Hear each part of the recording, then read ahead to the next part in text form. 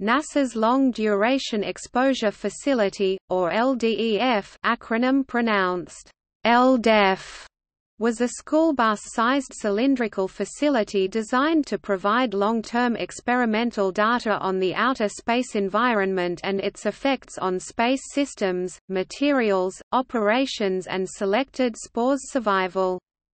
It was placed in low Earth orbit by Space Shuttle Challenger in April 1984. The original plan called for the LDEF to be retrieved in March 1985, but after a series of delays it was eventually returned to Earth by Columbia in January 1990. It successfully carried science and technology experiments for about 5.7 years, that have revealed a broad and detailed collection of space environmental data. LDEF's 69 months in space provided scientific data on the long-term effects of space exposure on materials, components and systems that has benefited NASA spacecraft designers to this day.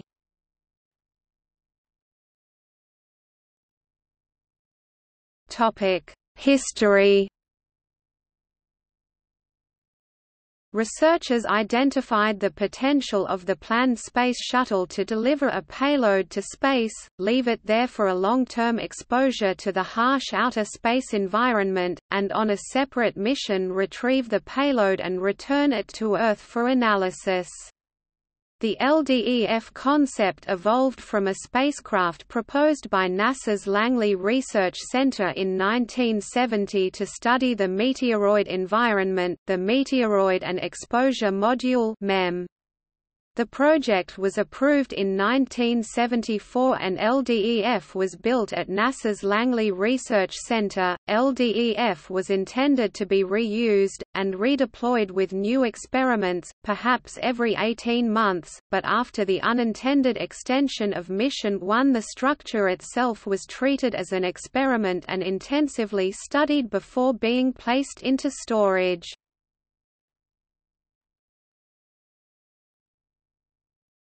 Topic: Launch and deployment. The STS-41C crew of Challenger deployed LDEF on April 7, 1984, into a nearly circular orbit at an altitude of 275 nautical miles.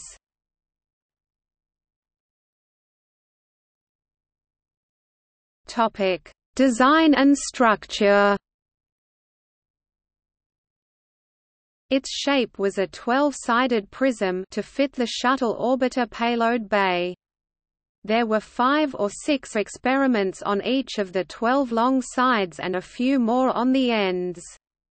It was designed to fly with one end facing Earth and the other away from Earth. Attitude control of LDEF was achieved with gravity gradient stabilization and inertial distribution to maintain three-axis stability in orbit.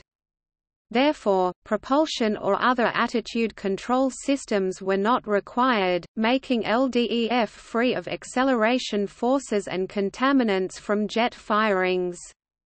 There was also a magnetic, viscous damper to stop any initial oscillation after deployment. It had two grapple fixtures. An FRGF and an active rigidized sensing grapple used to send an electronic signal to initiate the 19 experiments that had electrical systems. This activated the Experiment Initiate System which sent 24 initiation signals to the 20 active experiments. There were six initiation indications which were visible to the deploying astronauts next to the active grapple fixture. Engineers originally intended that the first mission would last about one year, and that several long duration exposure missions would use the same frame. The exposure facility was actually used for a single 5.7 year mission.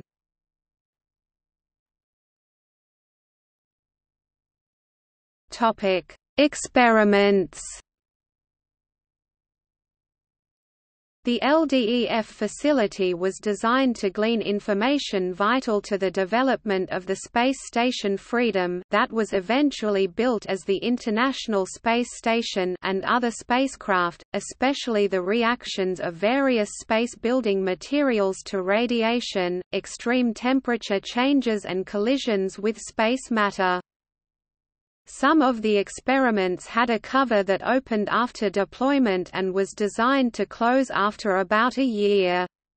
E.g. Space Environment Effects M0006 there was no telemetry but some active experiments recorded data on a magnetic tape recorder which was powered by a lithium sulfur dioxide battery. E.g. The Advanced Photovoltaic Experiment S0014 recorded data once a day. The German Solar Cell Study S1002 also recorded data, as did the Space Environment Effects on Fiber Optic Systems M004. Six of the seven active experiments that needed to record data used one or two experiment power and data system (EPDS) modules. Each EPDS contained a processing and control module, a magnetic tape recorder and two lithium hyposulfite batteries. One experiment S0069 used a four-track magnetic tape module not as part of an EPDS, 57 science and technology experiments, involving government and university investigators from the United States, Canada, Denmark, France, Germany, Ireland, the Netherlands, Switzerland, and the United Kingdom, flew on the LDEF mission. A total of 57 experiments were conducted on the LDEF. Interstellar gases also would be trapped in an attempt to find clues into the formation of the Milky Way and the evolution of heavier elements. Some examples are investigation of exposure effects on materials, coatings, and thermal systems power and spacecraft propulsion optical fibers and pure crystals for use in electronics electronics and optics survival of tomato seeds and bacterial spores and physics in low gravity, e.g. crystal growth. At least one of the on-board experiments, the Thermal Control Surfaces Experiment (TCSE), used the RCA 1802 microprocessor.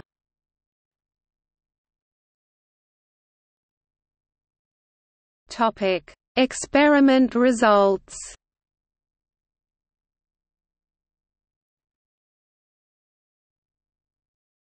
Topic: EXOSTACK In the German experiment EXOSTACK, 30% of Bacillus subtilis spores survived the nearly six years exposure to outer space when embedded in salt crystals, whereas 80% survived in the presence of glucose, which stabilize the structure of the cellular macromolecules, especially during vacuum-induced dehydration. If shielded against solar UV, spores of B. subtilis were capable of surviving in space for up to six years, especially if embedded in clay or meteorite powder artificial meteorites. The data may support the likelihood of interplanetary transfer of microorganisms within meteorites, the so-called lithopanspermia hypothesis.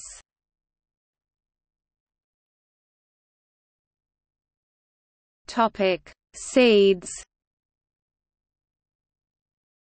The space-exposed experiment developed for students seeds allowed students the opportunity to grow control and experimental tomato seeds that had been exposed on LDEF comparing and reporting the results. 12.5 million seeds were flown, and students from elementary to graduate school returned 8,000 reports to NASA. The L.A. Times reported that a DNA mutation from space exposure could yield a poisonous fruit, and the report served to raise awareness of the experiment and generate discussion. Space seeds germinated sooner and grew faster than the control seeds. Space seeds were more porous than terrestrial seeds.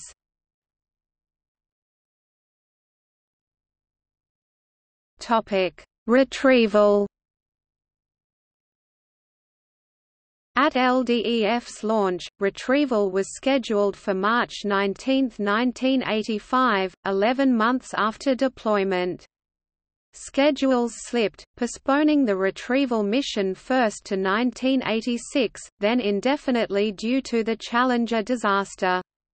After 5.7 years its orbit had decayed to about 175 nautical miles and it was likely to burn up on re-entry in a little over a month. It was finally recovered by Columbia on mission STS-32 on January 12, 1990.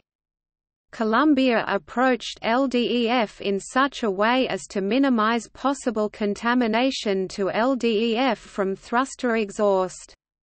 While LDEF was still attached to the RMS arm, an extensive 4.5-hour survey photographed each individual experiment tray, as well as larger areas. Nevertheless, shuttle operations did contaminate experiments when concerns for human comfort outweighed important LDEF mission goals. Columbia landed at Edwards Air Force Base on January 20, 1990. With LDEF still in its bay, Columbia was ferried back on the shuttle carrier aircraft to the Kennedy Space Center on January 26. Special efforts were taken to ensure protection against contamination of the payload bay during the ferry flight. Between January 30 and 31, LDEF was removed from Columbia's payload bay in KSC's orbiter processing facility, placed in a special payload canister, and transported to the operations and checkout building. On February 1, 1990, LDEF was transported in the LDEF Assembly and Transportation System to the Spacecraft Assembly and Encapsulation Facility 2, where the LDEF project team led deintegration activities.